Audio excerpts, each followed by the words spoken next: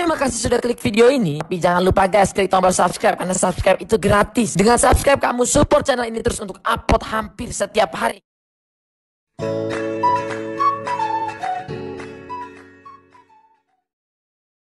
Hai guys, Assalamualaikum warahmatullahi wabarakatuh Jumpa lagi bersama saya Harmin Chandra Video kali ini saya ingin sharing aja ya uh, Bagaimana caranya kita membaca pressure sensor pada sebuah HP uh, dalam hal ini HP Sony ya Sony Xperia karena Sony Xperia yang ada pressure sensornya. Tapi di HP-HP yang lain juga beberapa dia menggunakan pressure sensor.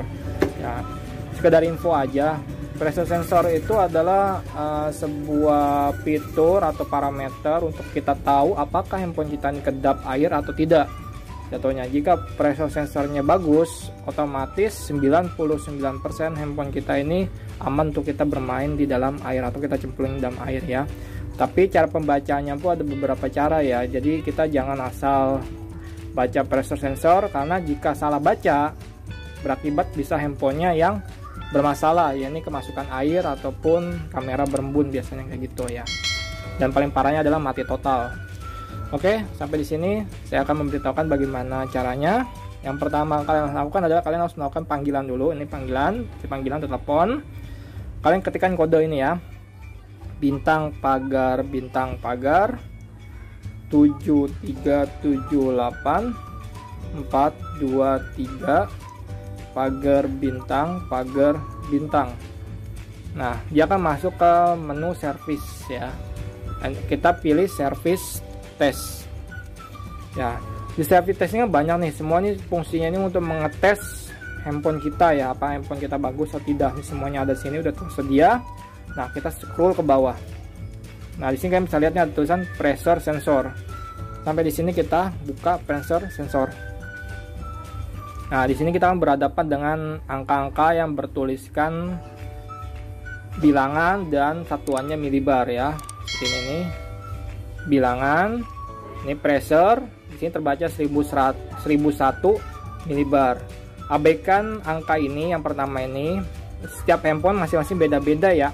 Bisa di bawah 1000 bisa pula di atas 1000 tergantung wilayah kalian. Karena pembacaan awal ini tergantung ketinggian kalian dari permukaan tanah ya. Dalam hal ini kan sebenarnya bar itu untuk permuk di atas permukaan air laut ya. Jatuhnya kayak gitu kalau untuk pembacaan bar. Jadi abaikan yang pertama ini berapapun angkanya terserah untuk yang pertama ya. Nah langkah selanjutnya adalah kita harus mengingat angka yang tercantum di awal ini. Misalnya nih bisa lihat nih ya 1001,5 anggap aja nih 1001 ya komanya kita hilangkan. Anggap aja ini 1001 nah sampai di sini kalian harus melakukan penekanan pada layar ya jatuhnya nah, tekan seperti ini nih. Nah dia kan akan naikkan tuh. Jatuhnya ya angka-angkanya tuh akan terlihat naik. Kalian lihat nih. Naik nih. Nah sampai di sini dulu nih. Nah naik kan? Ini nih tekan aku angkat. Nah nih tekan naik aku lepas. Nah dia turun lagi. Ya. Nah kalau seperti tadi nih ya seperti ini nih. Nih tekan naik kita lepas naik nah kita tekan naik nih. Nah naik. Nah sampai di sini nih itu artinya handphone kalian udah masuk fase kedap ya. Sampai di sini ya ini sampai di sini dulu nih. Nah langkah selanjutnya adalah seperti ini nih. Lagi ya kita tekan ini kita tekan tahan. Nah lihat ini menunjukkan 1040 ya 1040 kata di tengah kita lepas nah kita tekan kita tahan. Tekan layarnya tahan. Nah dia naik tuh. Naik dan stabil. Stabil. Ini kondisi jari saya tetap saya melakukan penekanan dan ini stabil diam di situ.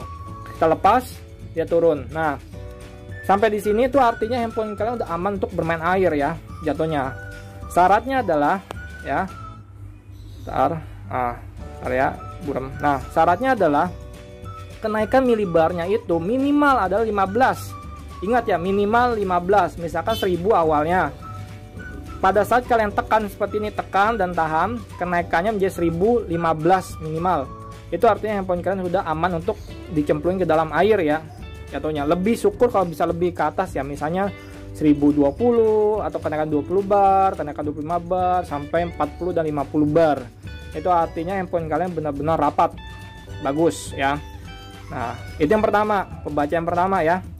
Sampai sini pembacaan pertama adalah apabila kalian tekan, kalian tekan ininya, nih seperti ini tekan dan dia stabil angkanya. Maaf nih buram, agak buram.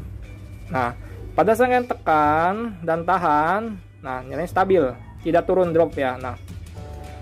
Stabil dia. Di, di angka 40 39 38 turun satu atau dua bar tidak masalah. Yang penting dia stabil tidak drop langsung ke angka awalnya itu artinya handphone kalian aman untuk bermain air atau kedap air ya.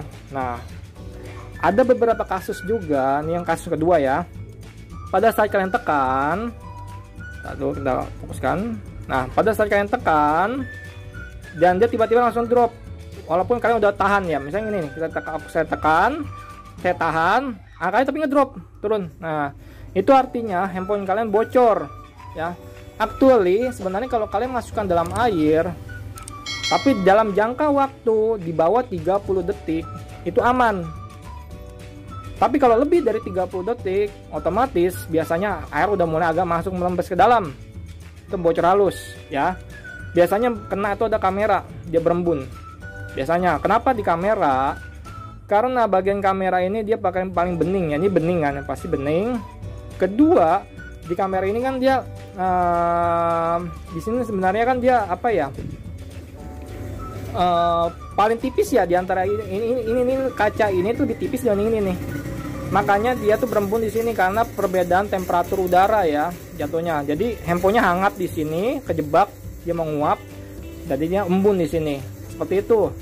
Itu kalau dibiarkan mesin kalian bisa kena ataupun modul kalian akan rusak jatuhnya seperti itu ya. Jadi tidak disarankan apabila pada saat tekan naik tiba-tiba turun drop. Itu tidak disarankan untuk jumping air tapi itu jatuhnya ke water resistant atau handphone yang uh, tahan cipratan air. Masuk cipratan air ini dong misalnya kita kena cipratan air ketuaan air itu tidak masalah. Kalian hujan-hujanan pakai telepon itu tidak masalah.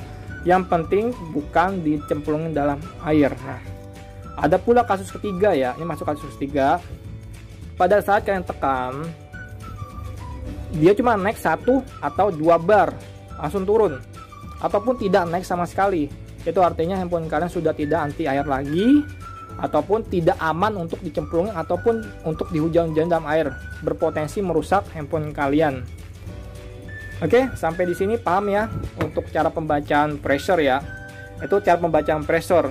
Nah, ada cara lagi nih. Ini ini cara gamblangnya biar kita tahu pressure kita bagus enggak ya. Pada saat kalian melakukan penekanan, nih, kalau kalian membeli handphone bekas ya untuk mengetesnya ya. Usahakan penekanannya tuh tes atas, nih atas, atas, atas, at, ah, atas, atas, bawah, bawah. Ini. Empat titik seperti ini nih. Lihat nih angkanya ya. Ini tahan naik bagus tahan naik bagus nah, lihat nih aku tekan naik. Bagus ya dia ter, apa stabil. Nah kenapa begini titik-titik ini? Ya karena bagian ini kan dekat dengan bagian kebocoran ya. Bagian-bagian ini kan ini nih biasanya bocor sini kanan nih. Bagian tepis-tepis ini nih bisa bocor di bagian sini bisa bocor. Bagian apa port juga bisa bocor atau bagian speaker juga bisa bocor atau bagian ini juga bocor. Nah kita tekan ini nih biar ketahuan dia apa bagian itunya. Oke? okay? Sekian tips dari saya dan sharing dari saya. Semoga video ini bermanfaat untuk kalian. Jangan lupa memberikan tanda like jika kalian suka dengan video ini dan subscribe channel saya ya untuk video-video saya selanjutnya. Sampai bertemu dengan saya lagi di video-video saya selanjutnya. Dan jangan bosan-bosan untuk men-sharekan ke media-media sosial kalian. Oke okay guys, Assalamualaikum warahmatullahi wabarakatuh.